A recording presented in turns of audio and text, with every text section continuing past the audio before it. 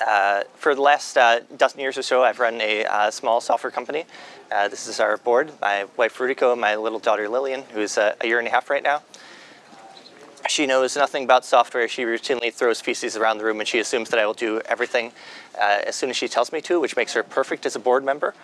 Um, and my wife told me that when I came out to, to Signal, I would have to look like a CEO and wear a suit and everything. But she said, since you're like geeky on the inside, like wear a jacket that looks like the Twilio jacket and then do Superman with it. So this is my company's jacket.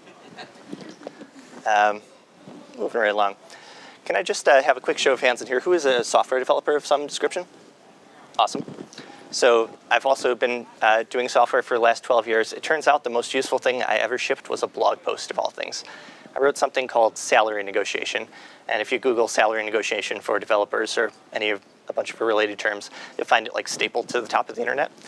And uh, so I keep this folder in Gmail for people who have read that post and then apply the results, of, applied uh, the advice in it to their own situation. And my running total is, as of this morning, 2.344 or so million dollars of additional salary added per year uh, for people, typically in like 15K to 25K chunks.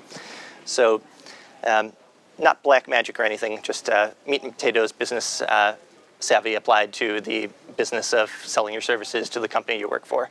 So I want to tell you a little bit about um, how you can start doing that, how you can start getting ready for your next job search today. There's really three phases of a job search. Uh, one is before the search even starts, so how you can start preparing for the rest of your career today. The second phase is when you're uh, actually in uh, what recruiters would call an active candidate. So you're looking for a new job right the heck now that you're willing to start at some point in the near future. And the third phase is dealing with the salary negotiation. And I'm going to give you a little bit of advice about all three of these phases. So in times past, when people would join IBM when they were 20 and stay there until retirement, uh, your career development was uh, often the responsibility of your manager. And say would, they would say these very scary words to you. Let's talk about your future with the company. And this has largely been discarded uh, in the field we work in, in the time we work in, in the uh, geographic area we work in. The typical uh, tenure of somebody at a, at a software company in the Bay Area is roughly like between one and a half years to three years. So no one is laying out the 30-year plan for you like they used to at IBM. This still happens in some places. I got a talk from my uh, manager back at my day job in Japan where lifetime employment is still kind of a thing for some people. And he sat me down, I was 25, and he said, all right, Patrick, here's how it's gonna go. 28, you're gonna be uh, engineer level two. 31, you're going to hit team lead. If you bust your butt by 36, I think we can get we can get you to senior team lead. 40, you'll hit section chief. 45, you're going to hit division chief. And about 52 or so, you're going to uh, be transferred to the uh, CEO of the American subsidiary, which for anybody else in the company would be a downgrade from division chief. But for you, you'd probably like it. And then you'll be able to do whatever you want while you're still young and 52. And I'm like, mm, I think I'm going to found a software company. Uh, but this is this is not going to happen for you. No one's going to tell you, here's the next 30 years of your life on this plan that is uh, uh, just, you know, all you have to do is execute and you will get it. So you have to be the captain of your own ship. So there's actually a lot of uh, uh ways that a development career can shake on out. And don't listen to this talk to learn about them. Listen to this other guy's talk to learn about them. Just Google Brandon Hayes, uh, Keep Ruby Weird 2015. He has a great talk of about 15 different ways that you can uh, go through a development career. Broadly speaking, uh, I think there's about five-ish that are, that are relevant to most people. Uh, as you go on in your career, you either get very, very good at a lot of things around software development and get uh, uh, increasingly put into positions where you're less uh, doing line-by-line -line coding and more uh, doing architecture of systems, or you go uh, down the individual contributor track and get very, very good at dealing with very hard problems uh, in your industry. Or you get tracked off into management, you're uh, leading developer teams, you will probably not be doing coding on a day-to-day -day basis. Um, an interesting option uh, is to continue doing coding on a day-to-day -day basis, but get the developer title stripped from you because you'll be working in a, uh, a different white collar occupation where coding is a force multiplier to the other thing you're doing. For example, if you join a growth team, or if you're doing risk at a credit card company, et cetera.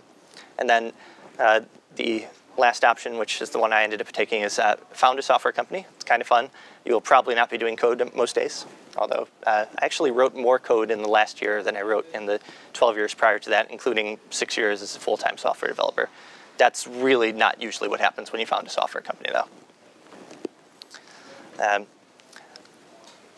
incidentally, how many of you have been, say, professional software developers for, let's say, less than three years? So lots, lots of folks. Uh, welcome. Uh, this is an awesome career. You might not know exactly which path you want to walk down yet, which makes sense because you're going to be in this field for like 40 years, and you still have quite a lot to learn. Um, what I'm going to suggest is, well, quite a lot to learn, a lot to experience, a lot to figure out about what you want your career to look like. I'm going to suggest you look at the options available to you, but um, try to preserve optionality for yourself, uh, not getting too locked into any particular company, any particular role, until you find what really excites you uh, and uh, what works for your particular circumstances and set of values. So one question I get asked by people who are early in their careers a lot is where specifically should I work? I lack direction, provide it for me, like teachers always provided me direction. Well, it depends, but it depends is not a useful answer. So if you put a gun to my head, I would say if you are early in your engineering career, you want to know where, where you can work, the best place to work is at a mid-sized startup, one that is uh, uh, pretty clearly going to be successful, uh, but still small enough that individual contributors like yourselves have impact on the things they're shipping. Um, so Twilio would be a good example of this. Uh, plug, plug. Uh, Uber would be a good example of this. If you want other examples, please come talk to me later. Um, I'd be happy to give you a few pointers. There's other places you could end up working, obviously. Um, you can work outside of the software industry. Did it for a while. Don't. Um, software developers will have a much happier life working in the software industry uh, than almost anywhere else. Uh, within the software industry, your other options are either working for, um, I have this word, App Amagoo Booksoft, which are five companies, which are essentially one company with some minor differentiation between them. Uh, they will pay you a lot of money. You will be turned into a unit in the Borg, and you are replaceable by another 10,000 engineers working for them. You can also work for a, uh, a small startup, which you'll learn a little bit, but working at a small startup is not optimal for early in your career because the people that you are hoping to be learning from will not have much time to teach you because in a small startup, everything is on fire all the time. And the chief thing you will learn is that everything is on fire all the time, nothing is working, and your company goes out of business, which is not what you want to happen uh, in your first three years of your career, because then the next job you'll get will be the same job again. You will have everything on fire all the time, and then you'll repeat that two or three more times, and then 10 years have gone by and you have probably like skilled up a little on the technical side of things, but you're not achieving the career progress that some of your more put together uh, colleagues were at uh, uh, companies like Twilio where they got you know, promoted up as the organization grew. So I've got three rules for you in no matter where you end up uh, having better outcomes for yourself. First one, work where people can see you. This means working in organizations on projects and organizations where the rest of the world can see how great you are at what your job is. So typically managed software firms do not like to tell the, uh, the world about how great their individual engineers are. It's purely downside for them. Heads, you leave them to get a better job, uh, better job elsewhere. Tails, you expose the firm to additional risk by having uh, a personal profile where they would prefer you to be one of 10,000 cogs. Uh, so this is a uh, reasonably accurate representation of the software firm I used to work in. You can tell, you can see that uh, somebody working at the end of this cubicle role might be known by his colleagues to be very uh, decent at uh, what they do. They might be known to management at being very decent at what they do, but it's highly unlikely that anyone outside of this office ever sees what they work on. Compare that to a job that has built-in visibility. Uh, Keith Casey is uh, Twilio Emeritus. Uh, is that the way we say that? Twilio alumnus? Sorry, I live in Japan. This is more English than I will speak for about six months. Um, so uh, Keith was a developer evangelist. The job description for a developer evangelist is you go around to people and talk about what your company is doing a lot and then live code in front of them and uh, say, basically the reason my company is paying me to come out and speak to you about this is because I make them fat stacks of money by coding. BTW, if you were in the software industry, you should probably remember me because I make people fat stacks of money by coding every day, all day, every day. And you have that conversation hundreds of times a year. every developer evangelist I know that gets out of developer evangelism uh, gets a massive career upgrade uh, uh, as their next thing, typically because of somebody that, that they met uh, while doing the job for their last company. So I would encourage you to, uh, to work in a position or on projects in the company that have external visibility. Work on something you can show. So I used to think when I was uh, uh, younger and a little bit naive about open source software that the best part about open source software was that you would have actual code that you could take that you wrote at one company and use it in another company, and that's awesome. But it turns out a subtly different thing that happens to developer careers is that when you have code that you wrote on the auspices of one company and can show it to people that, uh, that are not at that company, that is the most persuasive thing you can do to demonstrate that you are actually good at the thing that you are good at. Um, and that's very, very good from a uh, uh, perspective of trying to get you your next job. Unfortunately, I think developers like cottoned onto this a little too much. Like, there's a lot of people who think that, you know, oh, GitHub is my resume. All I have to do is keep publishing open source projects, and my career is going to take care of itself. Unfortunately, like that would be very convenient for developers if it was true, because then all you'd have to do is like do the thing you're good at, and that's all you have to do. Um, unfortunately, it's very difficult for a lot of people who are meaningfully involved in your career to extract signal out of GitHub. So this is uh, Steve Klabnik. He, uh, he's a buddy of mine. He presented at TwilioCon a few years ago. Steve is one of the most active people in open source software. If Steve is getting reviewed by a non-technical person screening Steve's resume, it is very difficult for them to tell uh, anything about this page other than the fact that it's on GitHub. And if you are like trying to trying to put together, you know, the user experience of that interaction in your head, it's like, okay, what series of buttons do they have to press to figure out whether Steve writes great code or whether Steve just writes a lot of code? And there is no likely series of buttons that gets them to that answer in the amount of time that they're going to uh, give at the screening stage of this. By the way, every page on GitHub looks like every other page on GitHub. And that's highly suboptimal because the work that you do will redound to GitHub's favor, but not your favor. And I've been saying that for about five years now. Uh, got uh, brought into clarity a few weeks ago. Um, so I have this little weird hobby uh, in Bitcoin. I hate it. Uh, I want to burn it to the ground. And um, so I'll save you a lot of Bitcoin drama, but let's say that The Economist and the BBC reported the claims of one crazy guy in Australia to be the guy who invented Bitcoin. And he had, uh, he had offered this uh, proof uh, with uh, uh, cryptographic signatures. And turns out the proof was like totally, totally balderdash, but it got past the BBC and uh, The Economist. And so I noticed it was totally balderdash and then wrote up the description of why it's totally balderdash on GitHub just for just because it was like the simplest way to get Markdown into you know a web accessible thing for me.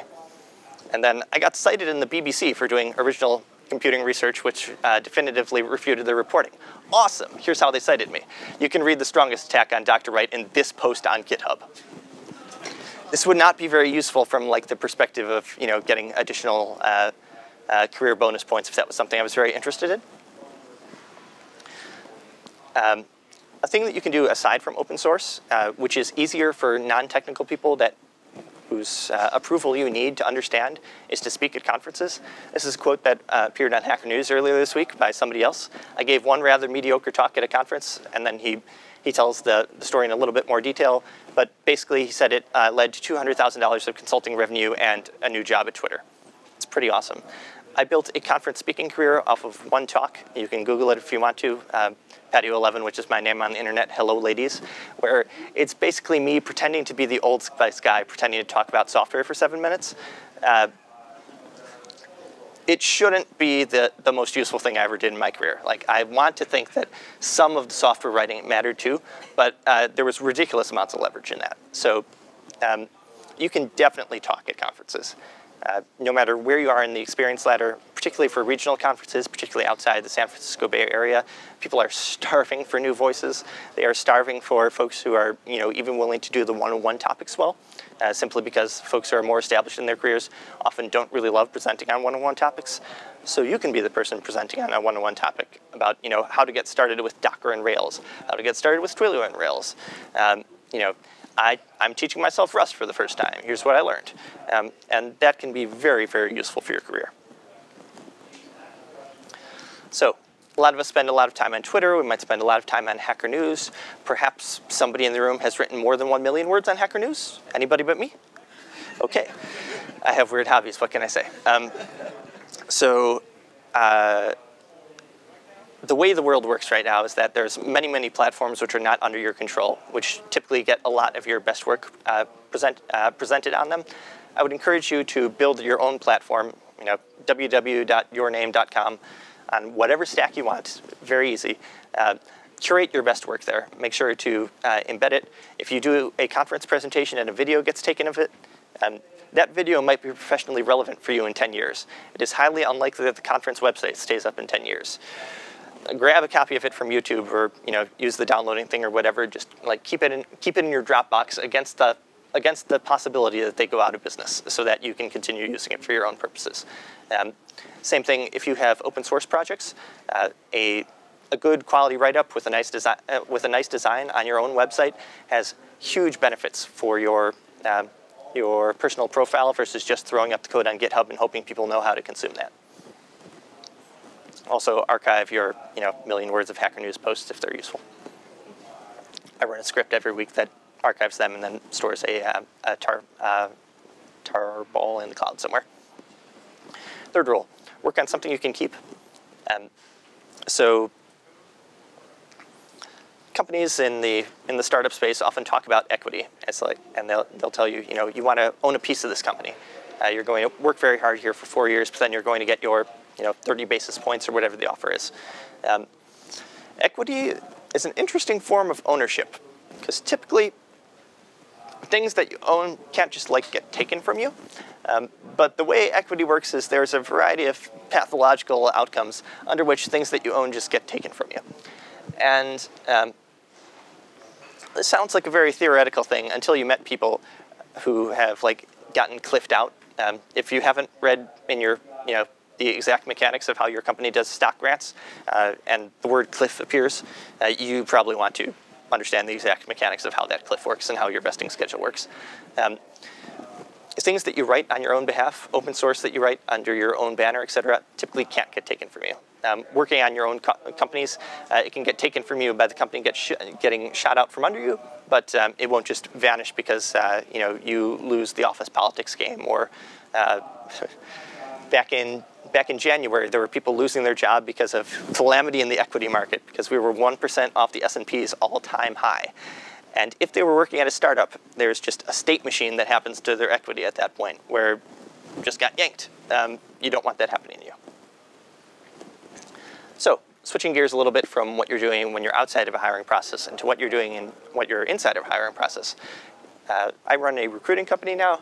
Here's kind of like the modal process at our clients um, when we ask them in a lot of detail, what does someone getting hired look, at, look, look like at your company? And it's a bit brutal. Um, there's a resume screening, two, uh, two screening phone calls, and then an on-site happens with three interviews, plus an interview with the, the entire team over lunch, which is disguised as, it's just lunch, except it can result in you not getting hired. Um, plus a interview with the CEO, and then finally there's a, there's a decision. At a lot of companies, the word yes can only get said once at the decision point. The word no, on the other hand, can get said by anybody at any point and it sticks. So this standard hiring process, you don't want to go through it. You never, ever, ever want to apply, well, okay. You, to the maximum extent possible, do not just want to send in an unsolicited resume and hope that the company discovers how awesome you are on the basis of a resume, because resumes are terrible. This entire process is set out to be terrible because companies have determined that the uh, the cost of a, a, false positive, of having someone like slip through the cracks and be a bad employee, is so much higher than the cost of them missing out on 100 good employees that they get pathologically uh, terrible at screening folks. Like, you know, uh, binning 95 out of 100 resumes before they even uh, give it more than one minute of somebody's attention. I had a hiring manager brag to me, brag to me that I always know whether someone will be a, a, good candidate or not in less than 30 seconds, so I spend no more than 30 seconds on any resume. Like, you're doing a terrible job, and you're proud of doing a terrible job, and you're building systems. They were, they were discussing building systems on how to spend even less of their time thinking about the people that they want building their company. Ah, it, it, this infuriates me. So, resumes are a terrible institution. So your resume looks something like this. You know, just like at first glance, it might. Um, this particular resume uh, looks kind of boring. The only thing that will probably make it a little more interesting to folks is if I tell you it's Donald Knuth. Um, so I know non-technical hiring managers who would not hire Donald Knuth on the basis of this resume because if you control F for C, it does not appear anywhere. Um, I, uh, obviously Donald Knuth not one of my clients, but I've had like that same sort of thing happen where someone uh, roughly fictionalized example, someone had eight years of experience on Rails and did not keyword match the word Ruby on their resume anywhere, and a non-technical hiring manager was like, oh, they don't use our technology stack. oh boy. Um, so, another problem about resumes. Uh, this is something that got said to by a gentleman named Dylan yesterday. I think it's really smart. You're most marketable for the things that you're uh, that you are already doing, which is not what you want to do at your next job. You want your next job to be a step up and out on your career ladder. Um, unfortunately, every company wants you to do stuff that you are 120% A plus positive, uh, proven to have already been able to do.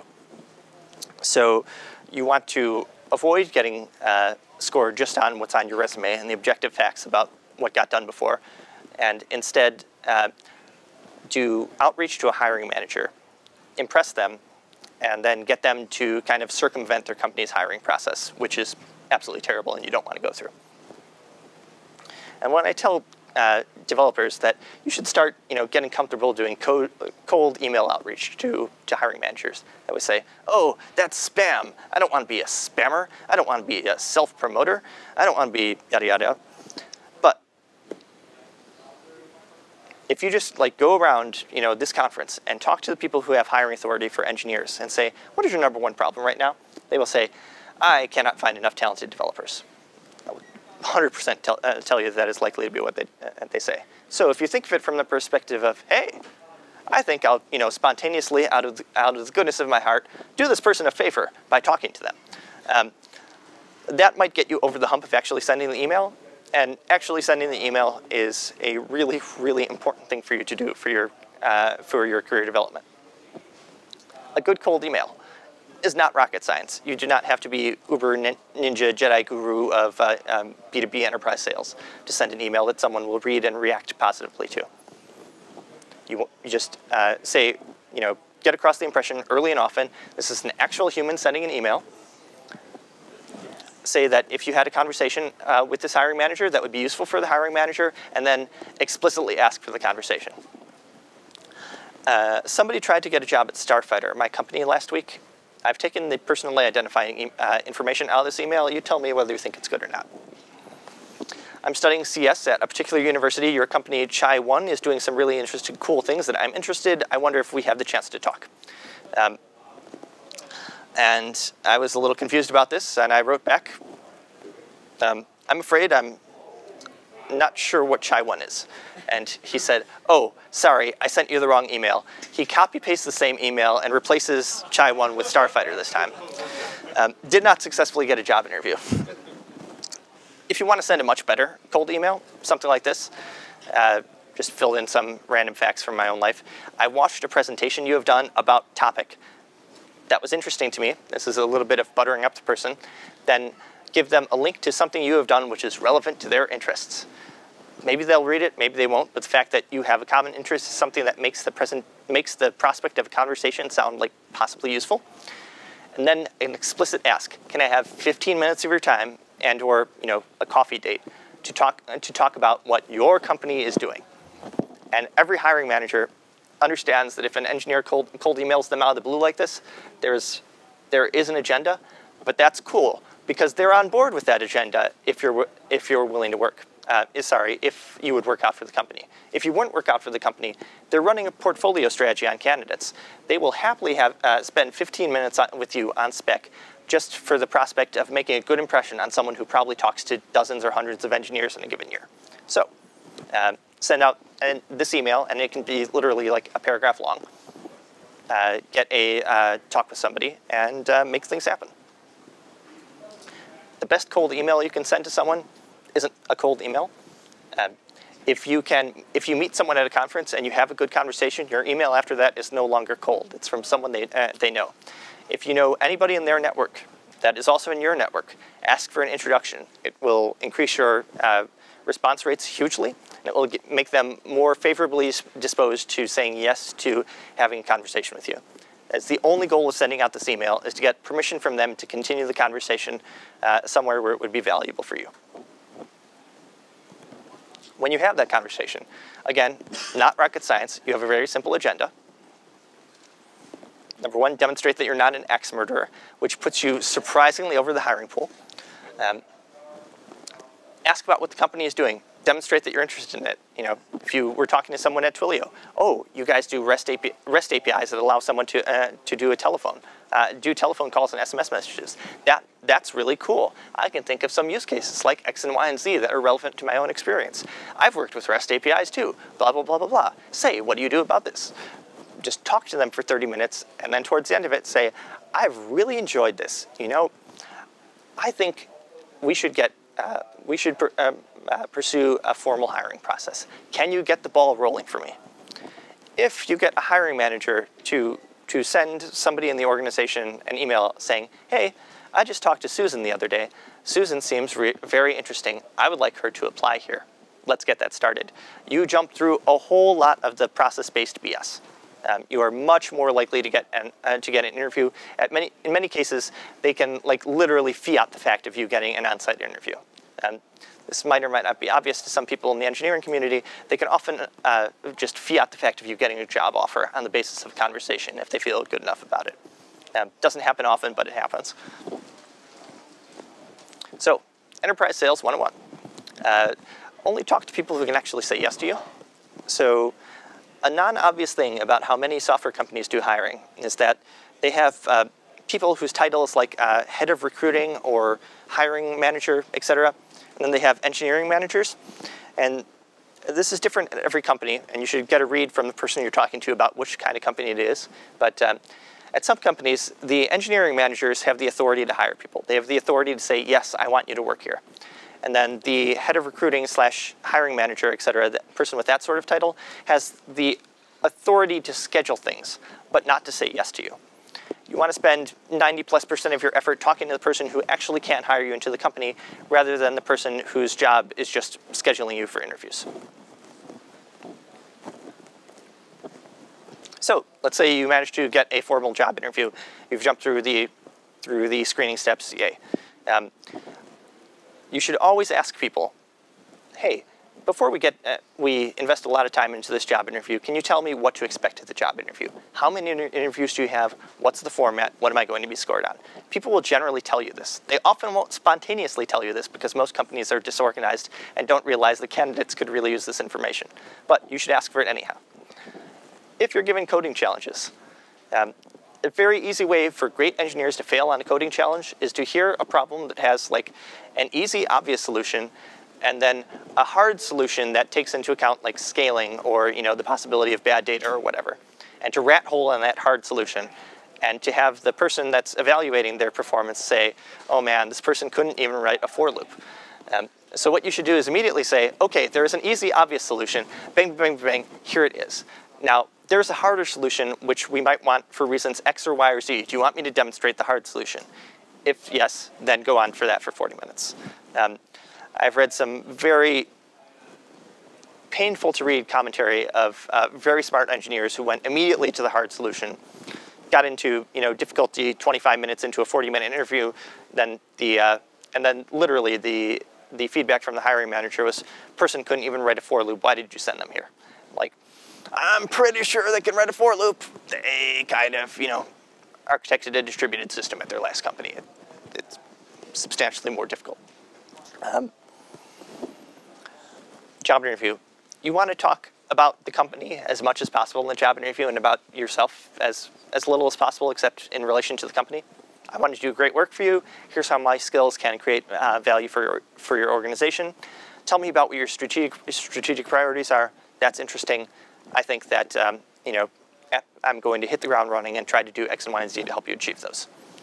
Um, occasionally, people will start uh, will start going off on what their own teams are doing or what their own job is at the company. If someone decides to make the interview all about them and not about you, wonderful. That means you're almost certainly going to get a job offer because they're already trying to slot you into their narrative of the future.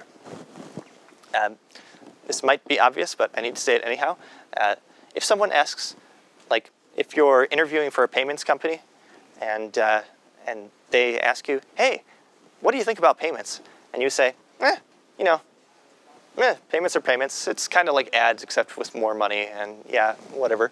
Um, you are unlikely to get a job offer from that company.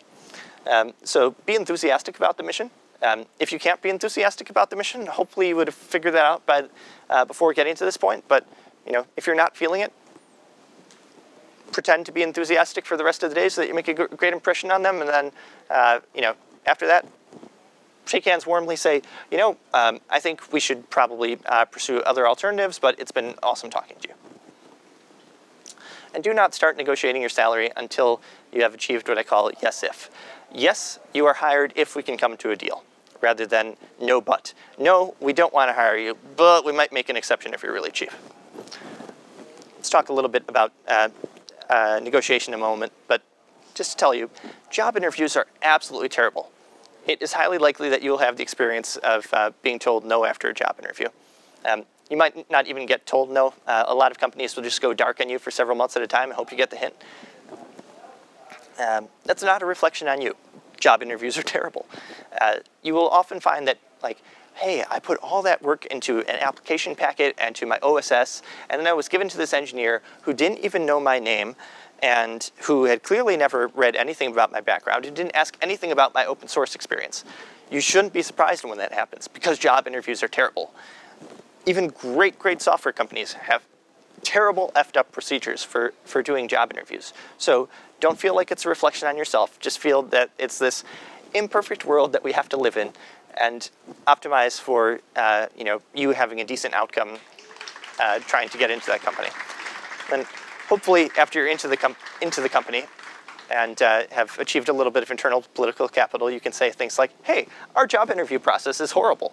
Maybe we should do it a little less crazy." So, if someone asks you, um, "Great, uh, I want to hire you. What's your salary? Uh, what salary do you want, or what what is your current salary?" You should dodge that question for as long as possible, ideally never answering it.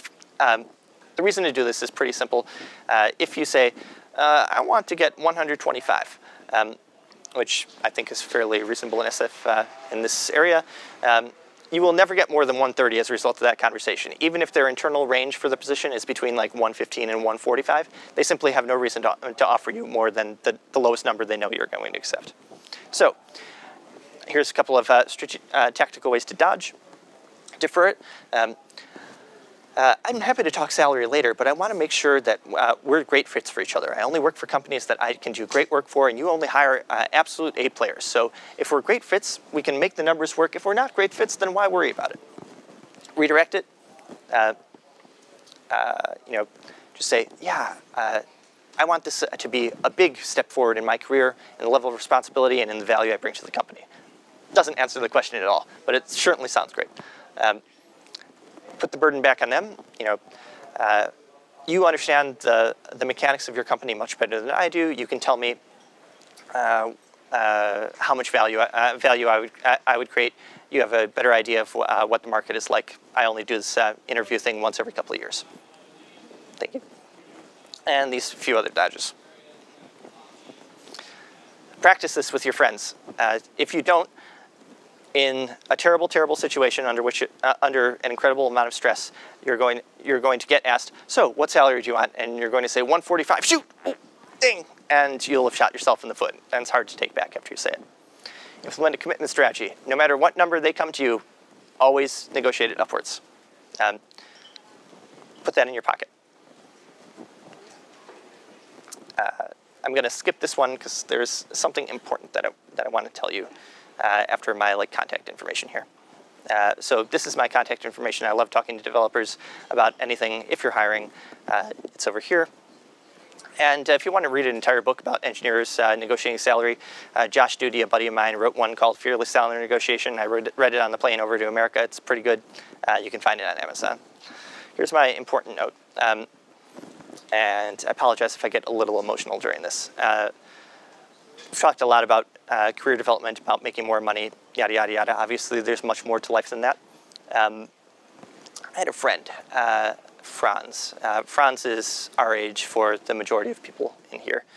Uh, this February, Franz was told that he had inoperable cancer.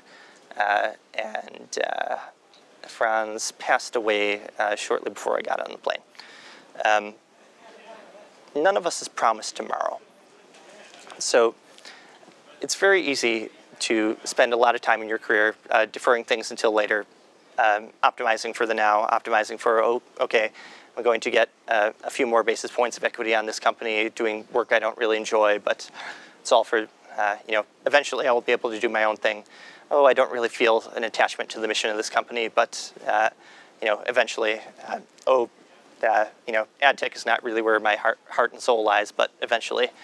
And um, uh, for some people, eventually comes way too early. Um, so I would encourage you, if somehow you knew how long, uh, how long you had left. Would what you're doing now be the highest and best use of your time, the best impact on uh, your family, your, your, community, on the world at large? If you have an idea for something that would be better, that, you, that the thing you're going to do after you get the current thing out of the way, just today is not too early to start doing that now. Um, none of us promise tomorrow. Thanks very much.